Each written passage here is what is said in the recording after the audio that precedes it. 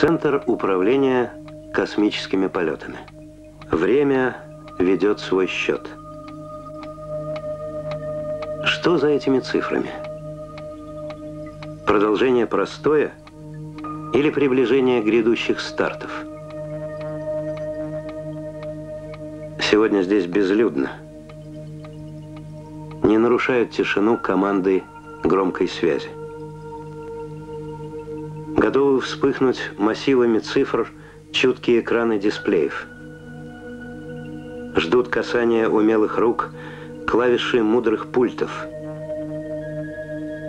Кажется, дай сигнал, и проснувшиеся километры кабелей, сотни тысяч электронных схем – замкнут в единое целое мощный организм, именуемый ГОГУ, главная оперативная группа управления. Отсюда, из этого зала, вели управление летно-конструкторскими или, как говорили тогда раньше, по соображениям секретности, натурными испытаниями орбитального корабля «Буран». Сюда стекалась вся информация с многочисленных станций слежения, в строгом порядке расположенных по всей планете. И в отличие от похожего зала в соседнем здании, здесь есть место экранам авиадиспетчеров. Ведь «Буран» совершил посадку на аэродром, совсем как обычный самолет, но необычно – Да, необычно. Ведь все. И полет вокруг голубого шарика нашей планеты, и торможение, и разворот против ветра, и заход на посадку он выполнил без пилота, автоматически. Это само по себе стало результатом, итогом многолетних работ. Всему миру и, главное, самим себе удалось показать – можем – и даже когда кругом твердят о застое, развале, разрухе и нищете, мы способны сделать машину не хуже американской.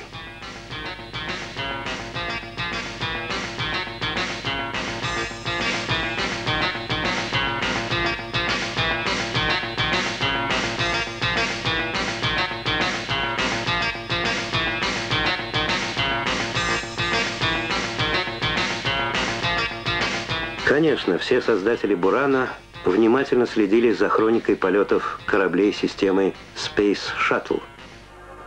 Многое сопоставляли. А кое-что и перенимали. И это понятно, естественно. Но высокопоставленные докладчики научились доказывать несходство этих аппаратов, якобы условия полета сами по себе сделали их близнецами. Пусть так. Хуже другое. Наши политики стали их противопоставлять впрямую. Газеты на перебой спешили напомнить о милитаризме шаттла и о том, сколько денег выделило на полет Министерство обороны Соединенных Штатов.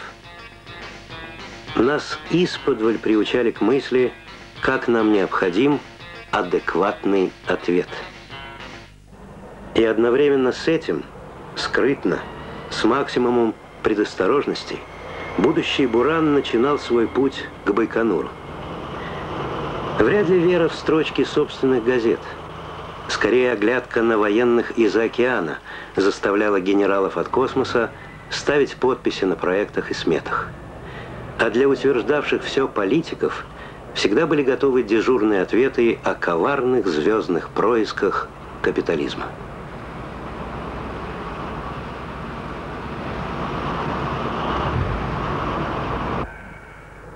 Многое тогда подверглось испытаниям.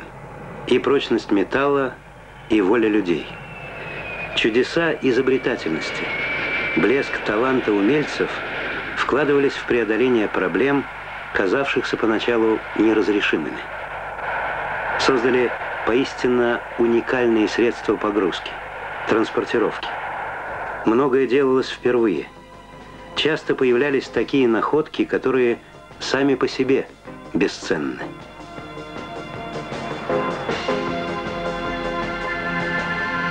Впервые в истории космической техники одновременно создавались и корабль, и ракета. Увеличение технического риска было не только количественным, две большие машины одновременно, но и качественным. Ведь не заработая одна, не нужна будет и другая. Конечно, производят впечатление и общая сумма затрат. Поглядите, куда потрачены, да нет, во что вложены эти деньги. Перед вами космодром Байконур. Эти колоссальные сооружения непригодные для чего-либо другого, кроме как для испытания и монтажа космической техники, подготовки и запусков мощных космических транспортных систем. Были, правда, инициативы начать в одном из производственных корпусов изготавливать, что бы вы думали, железные кровати. Кажется, вовремя одумались. Но такая инициатива не единственное испытание, через которое прошли разработчики Бурана. У них бывали и реальные сомнения в необходимости машины. Их вера и убежденность в правоте дела прошла серьезные испытания. И не просто риторическими были для них вопросы нужна ли машина и какая, зачем.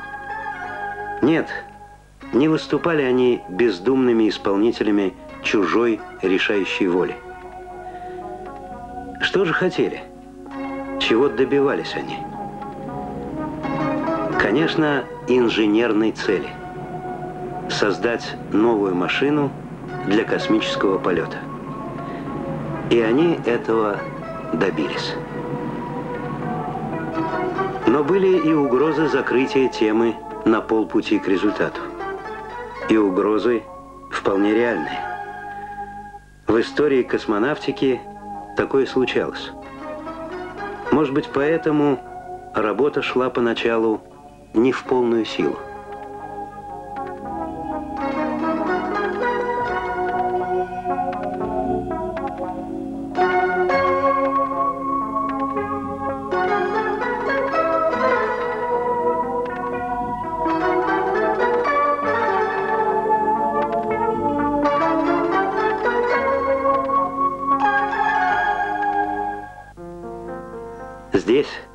В стенах знаменитой королевской фирмы, на совещаниях легендарного совета главных, рождалось будущее космонавтики. Принятые решения проходили испытания на прочность и устойчивость в залах министерств и кабинетов Старой площади. Но начало их здесь. Невозможно назвать единоличное авторство Бурана. Теперь, когда есть результат, так ли уж важно кто главнее. Пожалуй, именно в силе интеллекта мощных коллективов основной потенциал отечественной космонавтики. Задачи любой степени сложности этим специалистам по плечу. Их идеи обретают формы сложнейших испытательных установок и точных вычислительных экспериментов. будущих орбитальных операций нужен именно такой универсальный аппарат, способный оперативно доставить к космическим станциям любой груз, развернуть его, проверить работу, а при необходимости вернуть обратно для продолжения испытаний. Эта возможность имеет особую ценность для создателей космической техники. Ведь до Бурана, в отличие от авиаконструкторов, они были обречены каждый раз навсегда расставаться с отправившейся в полет машиной. Случись что не так, и только расшифровка телеметрических загадок, может быть, поможет установить, что именно случилось. И разгадка приходит далеко не всегда. Вряд ли есть необходимость доказывать, насколько это ценно для будущих сложных работ на околоземной орбите. Научиться на Земле строительству в условиях невесомости невозможно. И научиться в космосе сразу без ошибок невозможно тоже. Значит, нужно уметь возвращать конструкции, пока не научимся строить, пока не убедимся в полной надежности. Может быть, примерно этими словами убеждали тогда о необходимости новой машины, собравшихся в этом небольшом зале Центра управления. Здесь все оборудовано для работы Государственной комиссии. Видные деятели промышленности, известные правительственные лица, гражданские и военные, понимали, сколько уже пришлось испытать на пути к этому дню. Томительной минутой предстартового ожидания. Еще большая напряженность там, на космодроме, где в казематах подземного бункера сосредоточились на последних операциях специалисты стартового расчета. Переживает за успех дела руководители проекта. Вроде бы все буднично, обычно. У каждого свое место, своя работа. Совсем как недавно на тренировках. И все же читается в лицах иная напряженность. Теперь настоящие натурные испытания. Уже даны все команды и управляет автоматика. Но никогда нельзя быть уверенным в успехе на все сто процентов. Первая попытка запуска, что была несколько дней назад, лишнее тому подтверждение. Электроника перестраховалась, отключив систему меньше, чем за минуту до старта – когда чуть запоздала с отходом ферма с командными приборами. Тоже своеобразное испытание на верность логики автоматического управления стартом.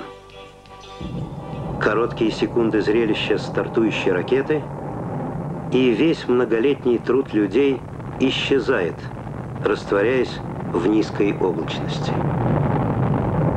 Что дальше?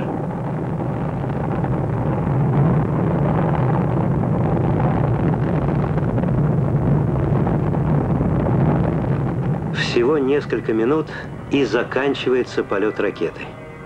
Но Бурану суждена более долгая жизнь. Уже после двух включений маршевого двигателя он добирается на орбиту. Теперь до тормозного импульса отсюда еще виток. Полтора часа. Много или мало? Немного, если даже пересчитать в секундах. Но немало если умножить на степень нервного напряжения. Не по секундам, а по тактам программ бортовых вычислителей знают полет многие из собравшихся здесь людей. Идеи, заботы каждого сегодня там, в космосе. Чем измерить степень риска? Пусть будет названа любая самая высокая цифра надежности, волнение не станет меньше. И только реальные подтверждения хода полета, как взгляд из космоса бортовой камеры Бурана, обнадеживают. Все в порядке. Летные испытания продолжаются. Конечно, самое ответственное – автоматическая посадка – Удастся ли попасть на полосу? Подправить машину на лету невозможно.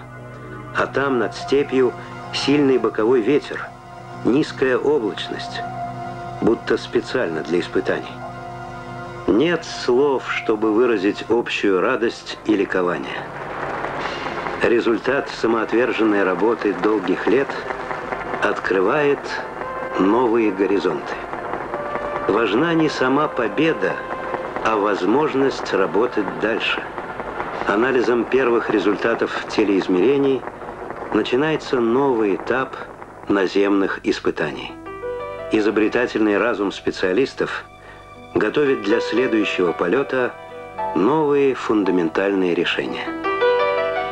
Да, почему-то только науку у нас привыкли делить на фундаментальную и прикладную – и невозможно сказать, что лучше, что важнее. Конечно, непосредственную пользу всем нам приносит наука прикладная. Но без фундаментальных исследований нет прогресса в знаниях, нет будущего. Примеры космических аппаратов, и в особенности пилотируемых, говорят о том, что и техника может быть не менее фундаментальной. Космические корабли и станции также фундаментальны, как, например, автомобили класса Формула-1. И на гоночных автомобилях можно, наверное, развозить почту. Но гораздо важнее то, что на них проходят испытания новых технологических конструктивных разработок.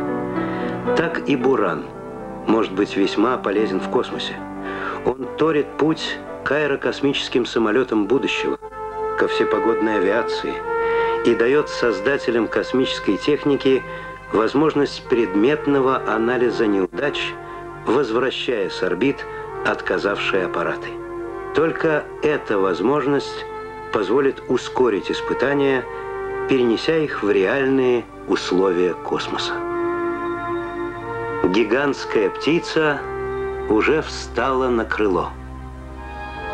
Сегодня еще трудно сказать, какие именно новые испытания выпадут на долю ее создателей, на ее долю.